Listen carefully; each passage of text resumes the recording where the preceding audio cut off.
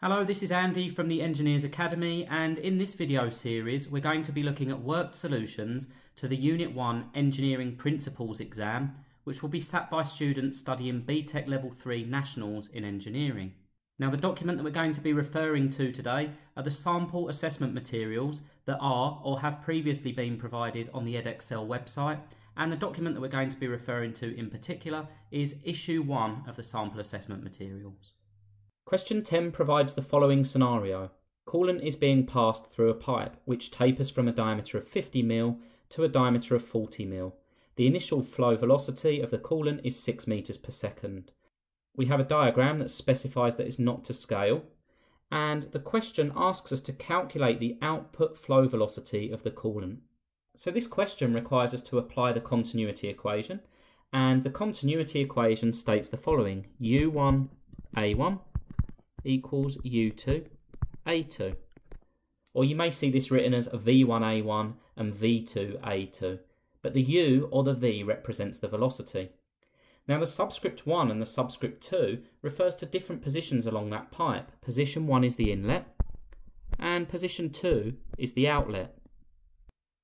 The question specifies that the initial flow velocity of the coolant is 6 meters per second. So we know that U1 is 6 meters per second.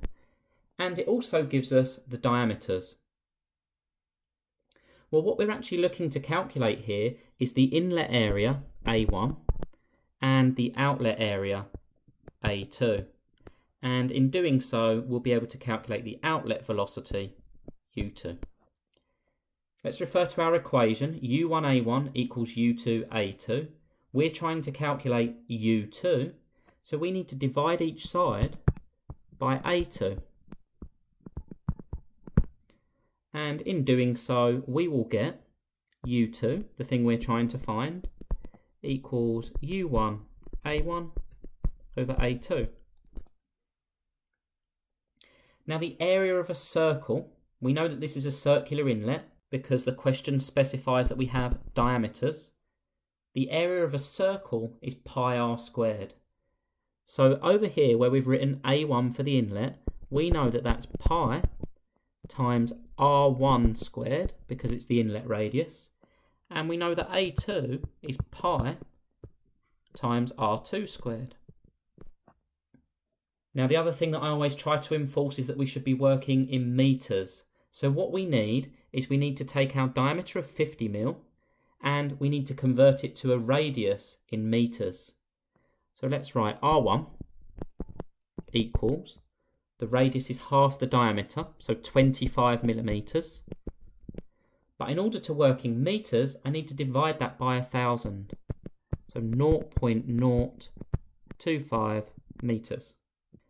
And I'm going to do the same for R2. R2 is going to be 20 millimeters because it's half the diameter. And 20 millimeters in meters is 0.02 meters. Okay, so now we have all of the information we need because U2 equals U1 times A1.